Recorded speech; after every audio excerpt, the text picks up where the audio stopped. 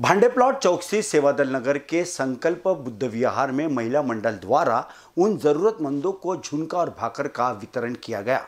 इस मौके पर बड़ी संख्या में लोग झुनका भाकर लेने आए थे, मगर उन सभी लोगों को एक एक फीट के अंतराल में खड़ा करके ही उस झुनका भाकर का वितरण किया गया। दर्शकों, इस समय में इन विशन की टीम है सेवा दल नगर में। भांडे प्लॉट के अंतर्गत आने वाले उसी सेवा दल नगर में इन विशन की टीम मौजूद है। आप देख सकते हैं कि संकल्प बौद्ध विहार है यहाँ पे। और संकल्प बौद्ध विहार की ये तमाम महिलाओं द्वारा आज यहाँ पे जो झुनका भाकर है, उसको बनाया गया है, क्योंकि जो मीडिया होता है, चाहे पुलिस प्रशासन होता है, या फिर डॉक्टर्स की टीम होती है, जो कोरोना वायरस से जन जागृति के लिए जो चौबीसों घंटे कामकाज कर रही है, ऐसे लोगों के लिए और गरीब तबके के लोगों के लिए इन्होंने ये खाना बनाया है। आइए हम सीधा रुक करेंगे उस संकल्प बहुत दिलदार के महिलाओं के पास और उनसे जानना चाहेंगे। ये बताइए जिस तरह से आज ये खाना बनाया गया, ये बनाने के पीछे का उद्देश्य क्या है?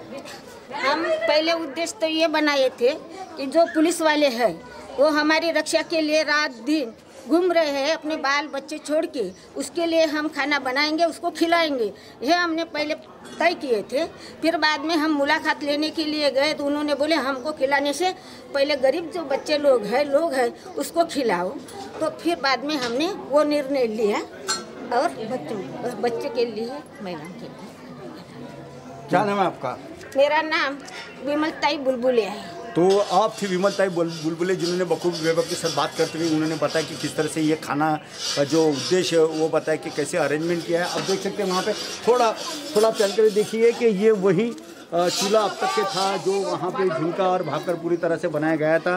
और इस तरह से अ, मैं तो ये कहना चाहूँगा कि पूरे नागपुर शहर में जो अधिकांश जो ऐसी जो संस्थाएँ हैं वो इस प्रकार का कामकाज कर रही है क्योंकि पुलिस प्रशासन अपना अच्छा कामकाज कर रही है। ठीक उसी प्रकार से मीडिया भी कर रही है और डॉक्टर्स नर्सों की टीम भी कर रही है।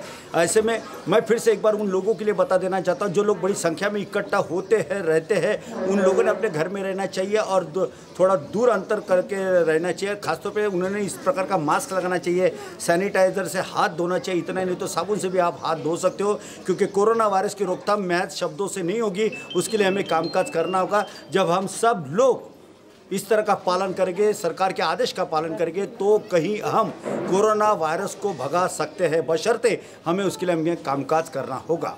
नागपुर के इस सेवादल नगर से कैमरा पर्सन वीरेंद्र के साथ संजय मिरे इन न्यूज़ नागपुर।